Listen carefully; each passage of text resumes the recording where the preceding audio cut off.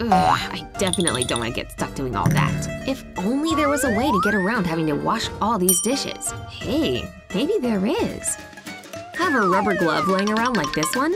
With a hot glue gun, pour some glue onto the fingers like this and stick cut strips of a coarse sponge onto them. You can do this to all five fingers. Make sure the sponge is the right size for each finger. Once the fingers are done, just put some glue onto the palm of the glove. It's best to squeeze out the glue in the shape of a Z. Then place a circular sponge on top of the glue. Once it's all dry, you're ready to go. With a handy glove like this one, washing dishes is a total breeze. Ready?